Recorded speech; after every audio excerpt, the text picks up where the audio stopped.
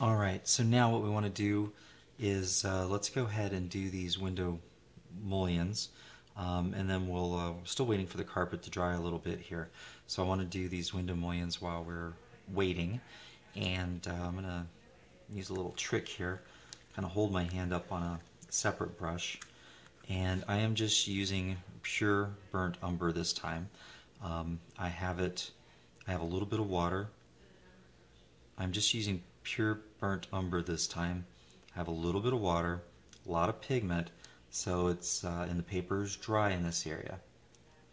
And what I'm going to try to do is paint the mullion that's inside the room dark.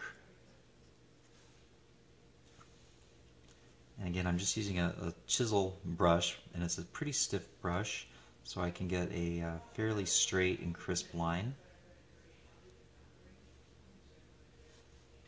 Okay, and then any part of the mullion that I believe is in the room, I'm going to go ahead and keep dark.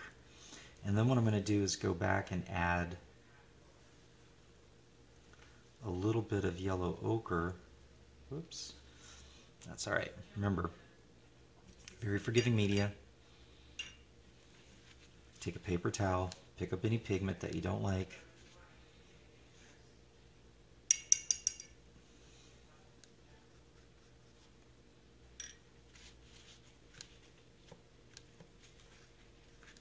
Okay, I'm actually going to leave that little bit of brown. I'm going to leave that little bit of brown there, just kind of blend it in a little because we want to go back and add something in the windows anyway. All right, so now I have to wait for that to dry before I could really crispen that line up, but I might actually leave it because it kind of goes with this um, shape that's happening here, which uh, again, happy accidents work really well when you're doing a watercolor illustration. So go back, grab a little more of my straight up burnt umber. Got a little wider line here, so this will be a little easier to do. And again, don't worry about being too perfect. Um, we're going to go back when this is over and we can add a little more line weight. Um, use a very sharp line with either a tech pen or a very, very fine brush just for a little bit of detail work.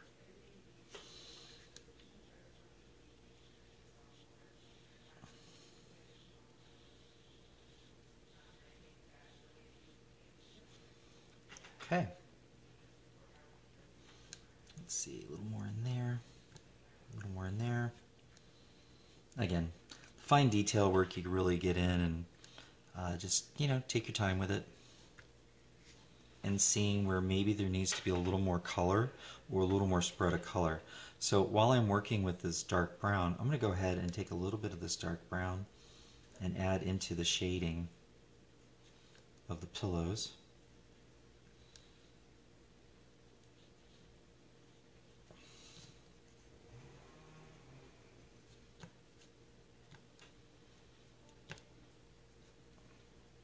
All right.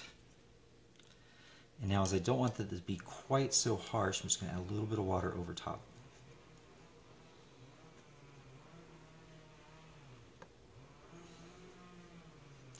And again, you take something that was a, a, very harsh line and you could soften it up just by adding a little bit of water to it.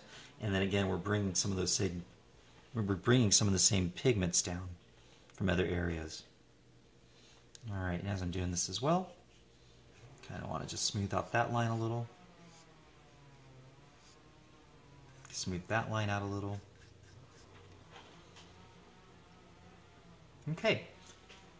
Now what we have to do is we do have to let this brown dry completely because what I want to do is go in with a little bit of my um, yellow ochre and again with a, a fairly dry brush um, not a lot of water but a lot of pigment what I'm going to do is go in and just kind of add a little bit of yellow ochre to where the sun would be coming in from the exterior and highlighting part of this window mullion.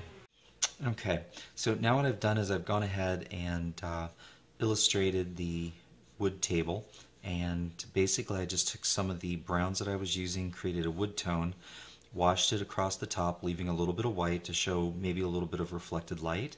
Then underneath, I just did a little bit of the brown, and then I went back with the black and the violet, and I added some dark values, uh, really to make it kind of pop out from the background. Um, also, I went ahead and I did the baseboard because that's just a few simple strokes of uh, a wood tone mixed with a little bit of black and some violet uh, to really get some of the shading effects. So now that I have these wood items completed, let's go ahead um, and finish off these window mullions.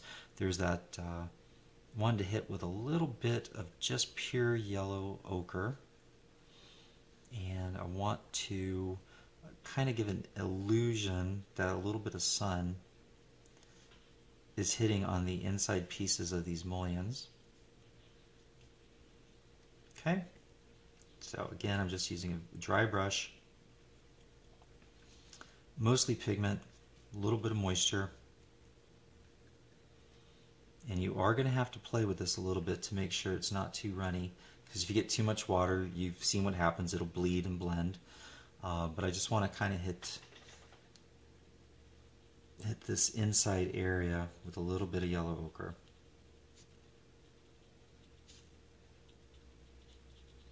And again, using a chiseled brush.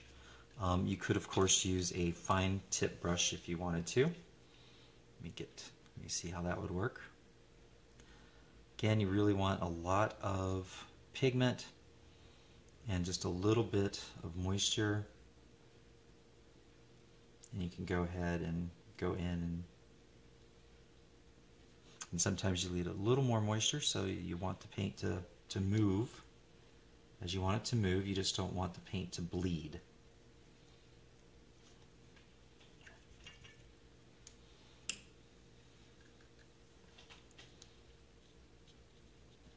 now again I like using a, uh, a thin chiseled type brush for this type of effect because it's very easy for me to control.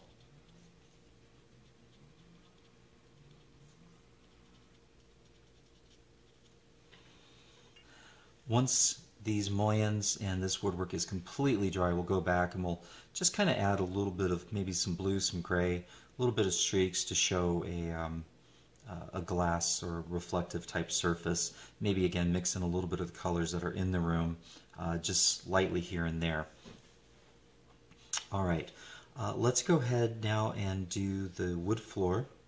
And while I'm doing the wood floor, since I've already done the tabletop in this color, we're going to continue this color wood. We'll also do the legs of these different pieces of furniture.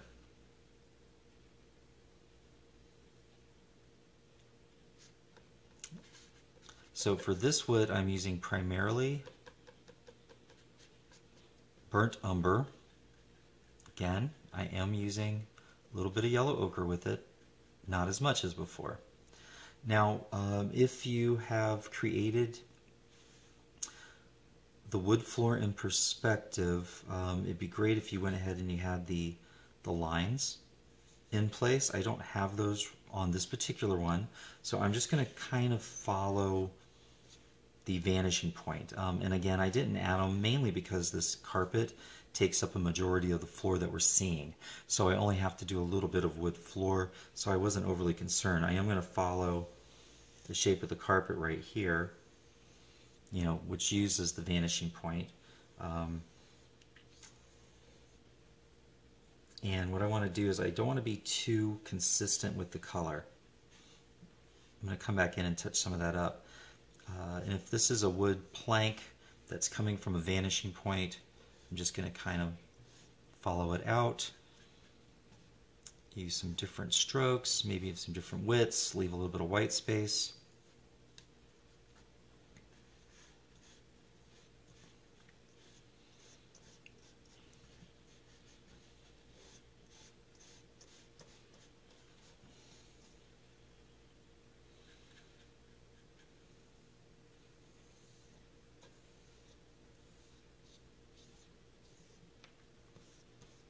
All right, so now I'm going to go back in with some water and let this blend a little bit. because of that uh, the, the pigment that we put down before um, came off with uh, just a little bit of water and now when we add water over the pigment we can get some nice blending and sh natural shading effects. And again, don't overwork it. You don't want it all to be the same color. And I'm just going to stretch this out a little bit here, a little more water.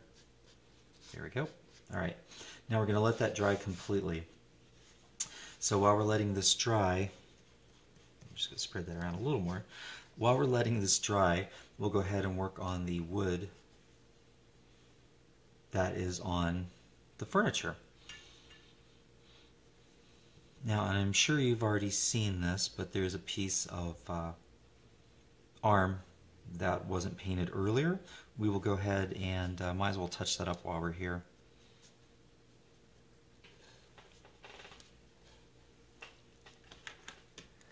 And uh, that is a little bit of red mixed with burnt sienna. I'm just going to get a little bit going there.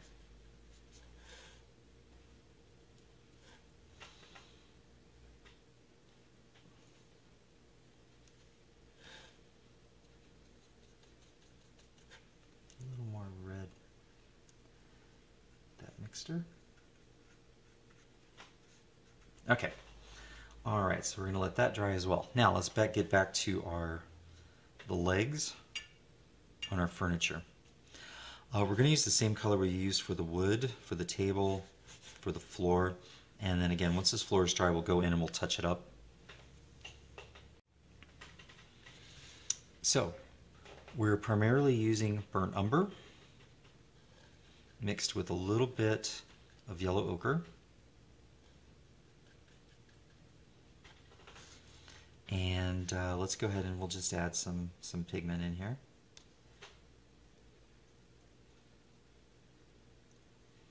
And I'm just using the tip of the brush. You know, if you really want to use a very, very fine line brush, you're welcome to do that. Using the tip of the brush, I'm not going to be overly concerned. I'm just going to try to stay a little bit within the lines. Um, we're going to go back and add a little darker value.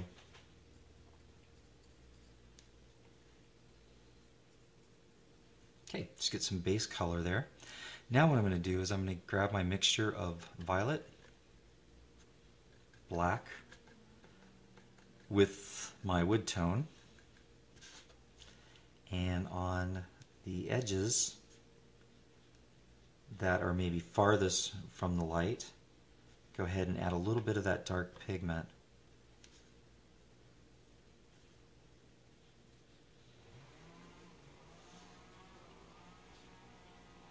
Again, it doesn't have to be perfect, it just has to look like there's some shading effect happening.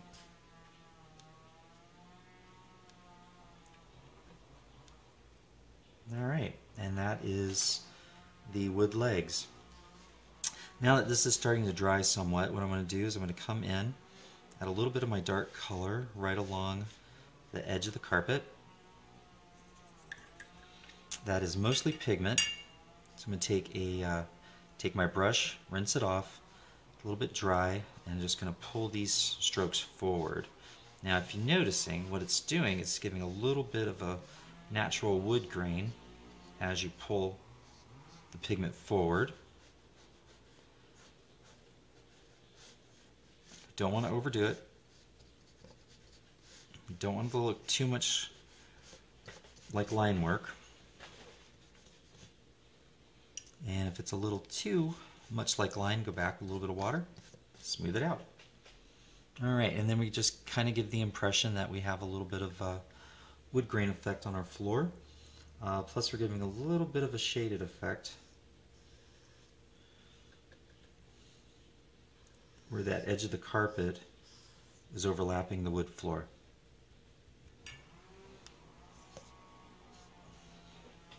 Another very good technique that you could use. You take a brush and kind of get the edges of the brush a little ruffled up so there's some texture there. Grab a little bit of pigment on the brush. So there's not a lot of pigment there, just a little bit on the brush kind of separate the bristles out. And you could do a few little streaks like that.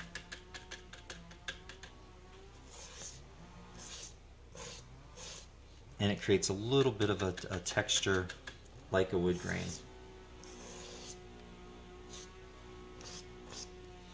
Okay, they also have um, a brush called the fan brush that works very well for that as also. So I'm just going to leave that alone now and we'll just uh, say that we're pretty much done here with the wood floors.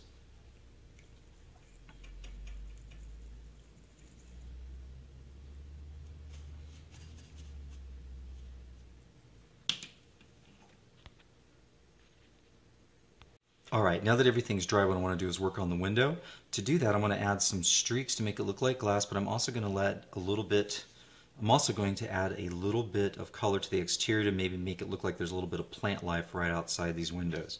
Uh, to do that, what I've done is I have a little bit of dark green, some yellow, and uh, a little bit of uh, yellow ochre on my palette, and I'm going to grab a little, got a dry brush, I'm going to grab a little bit of green, a little bit of yellow, a little bit of yellow ochre all at the same time, and I'm just going to dab. Not going to be very precise, I'm just going to dab. A little bit more of each, just kind of dab. Then I'm going to grab a little bit more of just the dark green. Kind of dab, make it look like there's some shaded effects.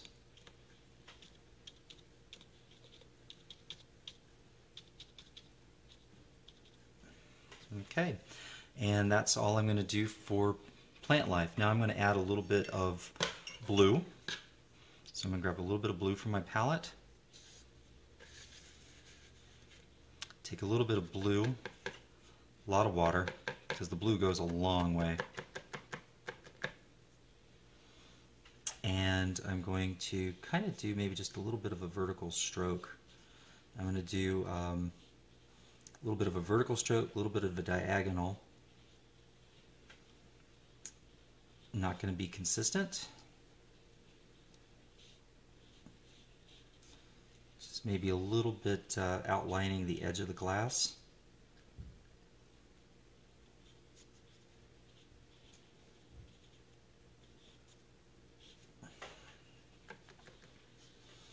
Same thing over on this side.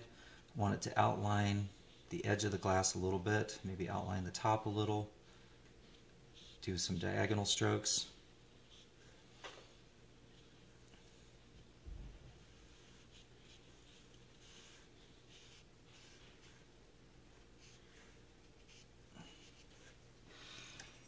And then what I can do is I can go in with a little bit of water if I want to spread that out. Can absorb some if need be.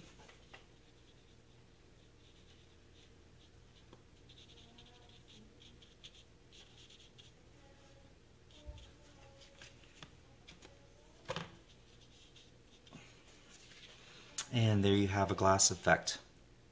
Okay, so what I've done is I've just given a little bit of an indication of artwork and uh, whatever you do in here, um, I would try to keep it abstract unless you actually have a real piece that you're copying and then copy it as perfectly as possible. Then what I've done is I've taken a little bit of the blue like I took over in the window and I just applied a little bit of a blue streak just to indicate maybe that there's a little that there's glass on top of this if there is um, or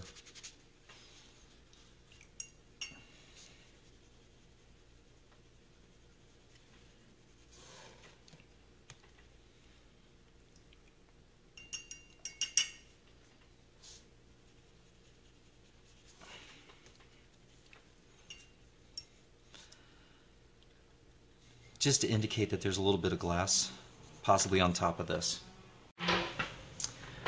The illustration is now pretty much complete. What I want to do is just go in and fine tune some of the shading and some of the details. Um, also add a little bit more highlight into some areas. You could tell we've left some highlight by leaving the paper white in a few spots, but what I want to do now is go in with a little bit of white paint and um, add a little bit more detail to the highlights. If white paint came with the tubes in your watercolor kit, make sure that you're using it straight out of the tube. Uh, this is also a time where you could use your fine tip brush, so you could use a fine tip brush. Really make sure it's it's uh, go in, just add a little bit of white highlight on some corners where sun, where light is hitting.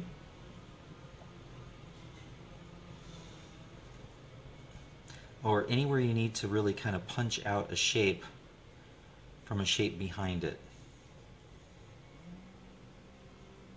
Now if you have a lot of pen and ink lines, you probably don't want to try to cover those up.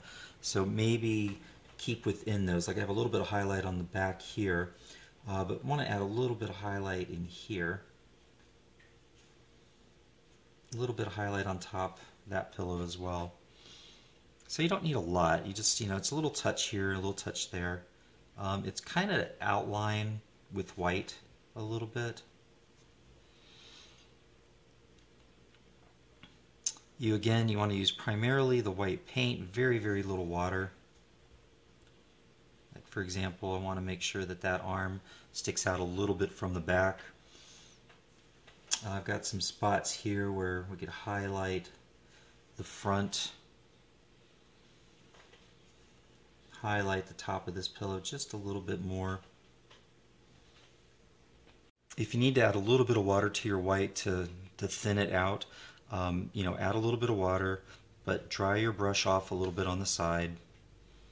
You know, really try to get the intensity of the white. Um, watercolor is in general transparent once it's applied. The white is opaque.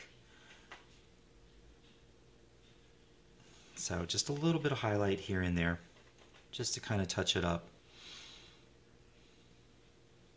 Okay, uh, that's just some general tips for working with watercolor. Hopefully you found this helpful.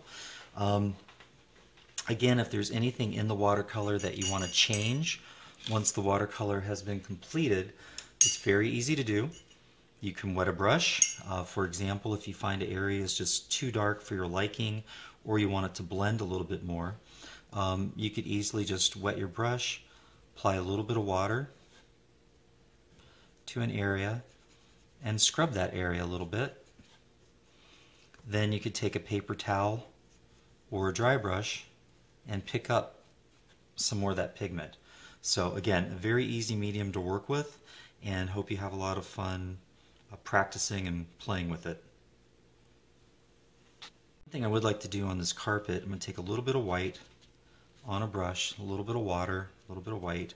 Again, remember the white is opaque.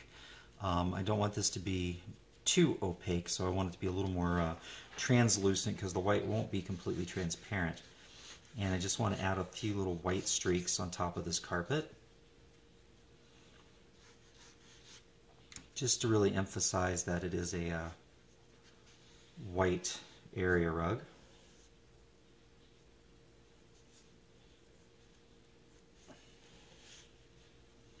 So again, the white won't be completely transparent. Um, it will be a little bit opaque and it will cover up, but it's a great way to, to sharpen up some of these edges.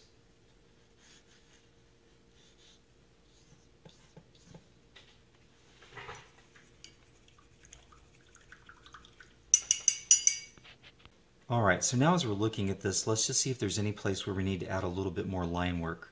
And what I'm going to do is I'm going to take uh, my chisel point brush,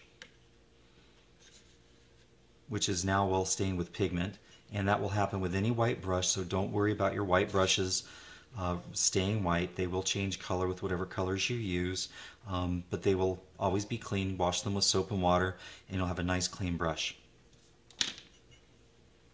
Now what I'd like to do is just take a little bit of black with a little bit of water so it's primarily pigment with my chisel point brush and I just want to see if there's any line work that I want to emphasize. So for example, I'd like to, to maybe sharpen that area where this cushion is sitting on top of the frame and uh, just add a little dark shadow right there. And then since I did that there, I might as well do the same thing in here.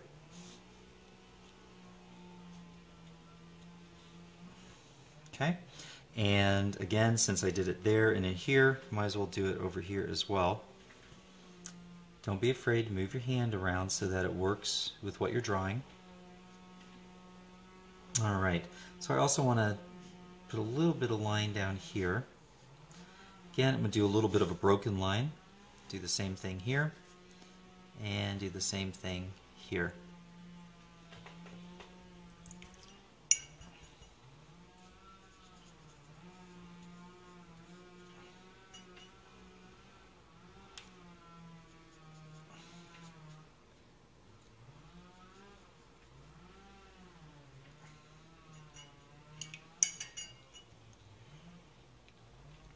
And since you did it there, do the same thing here.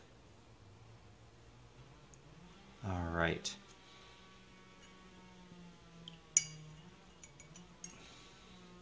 Now I also want to do is take a little bit of the black, a little bit of water, and right in here where the cushions come together, just add a little bit of shadow. Where the pillow sits on top add a little bit of shadow right at the base. And then where the pillows overlap add a little bit of shadow right along the edge of the pillow. And the shadow will help tie the pillow to the piece of furniture. So it doesn't look like it's just floating on top of it.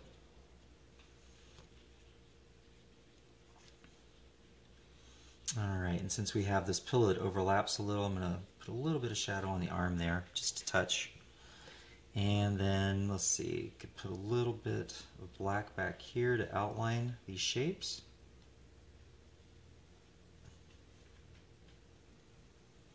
Okay, and so you can kind of keep playing like that. Uh, wherever you see a spot where it looks like you could use a little bit more shade or shadow, don't be afraid of getting dark.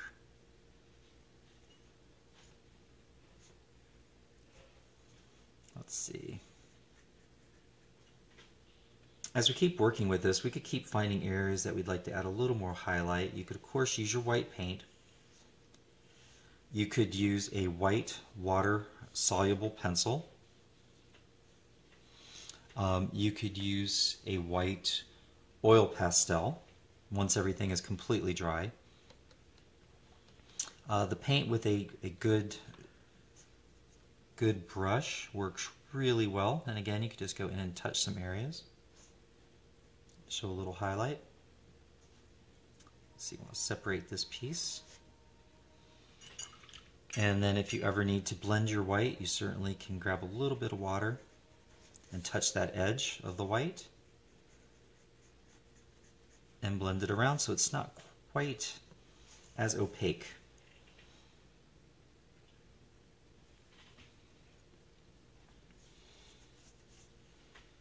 All right, so now that we've completed this particular illustration, I hope you've learned a little something and can have some fun playing with watercolors and um, trying different watercolor techniques.